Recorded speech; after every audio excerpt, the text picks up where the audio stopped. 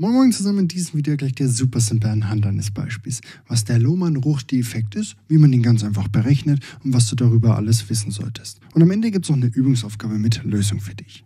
Also der gute alte Lohmann-Ruchti-Effekt, auch Kapazitätserweiterungseffekt genannt, beschreibt den Zwang, dass wenn du durch Abschreibung irgendwelche Mittel freisetzt, finanzielle, dass du diese in deine Ersatzinvestitionen investierst und dann muss dadurch ein kontinuierlicher Wachstum deines Anlagevermögens vorstehen. Okay, was meine ich jetzt damit? Folgendes Szenario. Und nun benutzt du diese und dann nutzt sie sich natürlich ab und du hast Abschreibungen. Und in der Theorie gehen wir jetzt davon aus, dass jedes Jahr, wenn du diese Abschreibung hast, dass du diese Abschreibungen auch deinen Kunden eben auf die Produkte in Rechnung stellst und dass du diesen Betrag, diese Abschreibung durch den Verkauf, durch den Erlös deiner Produkte oder Dienstleistungen, diese Kohle wieder reinholst. Das ist die Theorie dahinter. Einfach sagen, so ist es, fertig, mehr musst du nicht verstehen.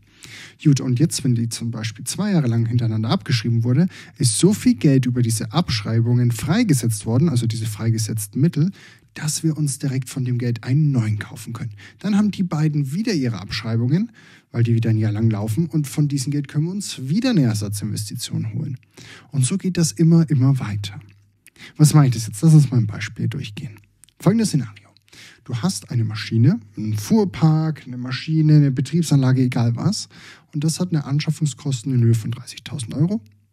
Die Nutzungsdauer ist insgesamt sechs Jahre. Bedeutet, sechs Jahre lang kann ich zum Beispiel diese Maschine hier nutzen. Danach ist die Schrott nichts mehr wert. Das muss man auch beim Lohmann-Ruch-Defekt so behandeln. Das ist die Theorie dahinter. Und jetzt fängst du einfach an. Das Unternehmen hast du gegründet und du fängst jetzt mit vier Maschinen an. Flop. Was passiert jetzt also? Und jetzt kommt der Lohmann-Ruch-Defekt ins Spiel. So berechnet man das ganze System. Du hast hier dein Jahr, dann wie viele du am Anfang an Bestand hast. Und nun findet die Abschreibung statt in Höhe von 20.000 Euro. Wie komme ich auf die 20.000? Naja, eine Maschine kostet ja 30.000. Wenn die sechs Jahre lang hält, dann kann ich 30.000 durch sechs teilen und dadurch habe ich die Abschreibung pro Jahr, also 5.000 Euro. Wie viele Maschinen hatte ich jetzt dieses komplette Jahr lang im Betrieb? Vier Stück. Also 5000 mal vier sind wir bei 20.000 Abschreibungen für diese Fahrzeuge in diesem Jahr. Reinvestieren können wir jetzt halt noch nichts, weil wir müssten ja 30.000 Euro haben, damit wir eine neue Maschine kaufen und reinvestieren können. Wir haben aber nur 20.000 Euro Abschreibung, diese Kohle von unseren Kunden wieder reingeholt in der Theorie.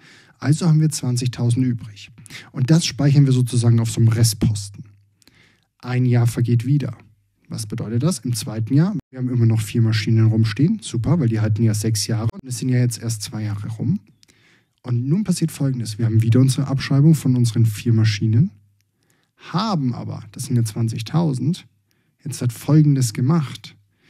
Diese 20.000 aus dem Vorjahr, die hier, plus die 20.000 Abschreibung, die wir in diesem Jahr haben, im zweiten, ergeben doch insgesamt dann 40.000, die wir auf unserem Restposten sozusagen rumliegen haben. Und weil 30.000 eine neue Maschine kostet, rechne ich 40.000 minus 30.000 und dadurch habe ich mir eine neue Maschine holen können. Zack, also ist hier ein Zugang am Ende des Geschäftsjahres von einer neuen Maschine hinzugekommen. Also hat die auch eine Reinvestition von 30.000 stattgefunden und 10.000 war wieder übrig, das geht wieder auf unser Restekonto.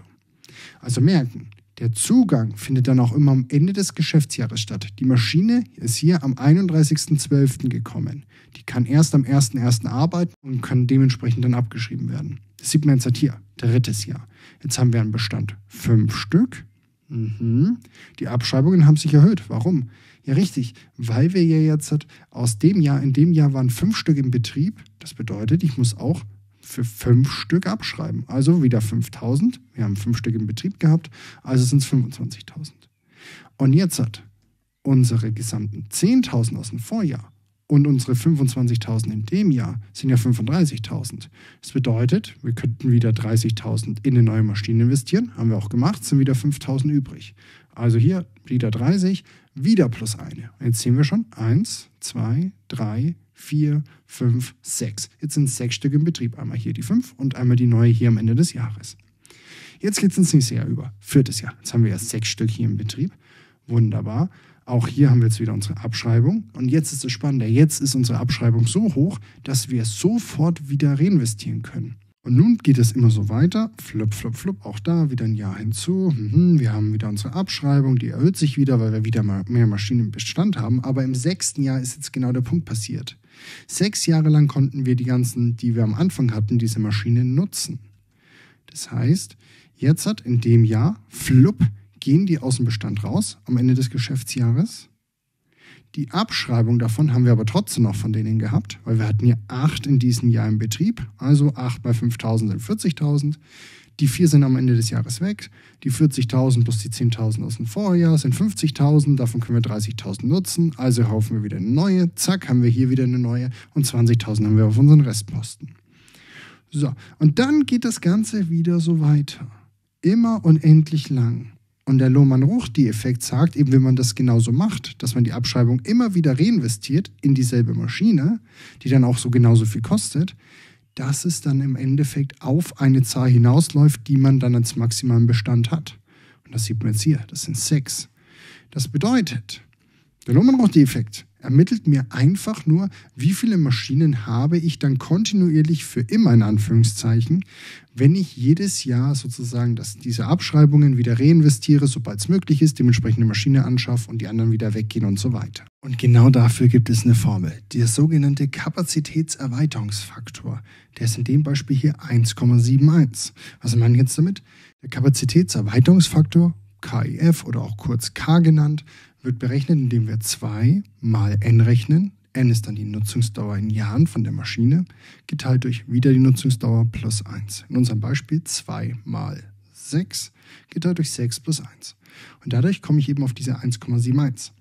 Und die bedeutet einfach nur, dass wenn ich meine sozusagen meine anfangs investierte Anzahl, diese 4, um 71 Prozent erhöhen würde, dass ich dann auf meine maximale Anzahl rauskomme, die man durch diesen Lohmann-Ruchti-Effekt als maximalen Bestand haben kann. Das kann man wieder so rechnen oder ganz simpel, man nimmt den Kapazitätserweiterungsfaktor mal deine Anzahl, die du am Anfang hast, in dem Beispiel hier 4, und dann habe ich meine maximale Anzahl. Also 1,71 mal die 4 Stück ist gleich 6,86. Und egal, was du in der Mathematik gelernt hast, hier musst du immer abrunden. 6,99 abrunden, 6,86 abrunden, immer auf 6 dann. Das bedeutet, sechs Stück haben wir maximal. Und das siehst du jetzt auch hier. Schau mal, der Bestand geht anfangs hoch, sogar höher, bis acht. Dann fällt er wieder ein bisschen und dann bleibt der konstant bei sechs. Und das ist eben genau dieser Kapazitätserweiterungsfaktor, wo ich den ermitteln kann. Okay, bis zu welcher Kapazität ist es denn möglich, maximal rauszugehen, wenn ich immer meine Abschreibungen hernehme und diese reinvestiere. Das sieht man jetzt auch hier charmant. Man sieht, dass anfangs das Ganze schön hoch geht, der Bestand. Dann kommt eine dicke Abschreibung von meinem Anfangsbestand, weil die vier Maschinen dann plötzlich weg sind. Dann erholt sich wieder und dann bleibt es immer konstant für die nächsten Jahre. Hier 20, 30, 40 immer weiter. Und hier ist die versprochene Übungsaufgabe für dich. Probier es mal selbstständig, halt das Video an, rechne mal bis acht Jahre runter, rechne mir auch den Kapazitätserweiterungsfaktor aus und wie viele maximal ich dann haben kann. Die Lösung kommt nämlich jetzt. Wunderbar. Also Kapazitätserweiterungsfaktor haben wir 1,60. Die maximale Anzahl, wenn man dann eben die 6 mal 1,60 rechnet, kommt abgerundet 9 raus. Und das sieht man jetzt auch schön hier. Man hat einen Bestand, hat seine Reinvestition. Hier hat man direkt am Anfang des ersten Jahres gleich eine Reinvestition. Spannende Sache. Also wieder berücksichtigen. Chuck, runtergerechnet, so hat man es. Ich habe eine Excel-Datei entworfen, wo das Ganze automatisch berechnet wird. Verlinke ich dir auch unten in der Videobeschreibung.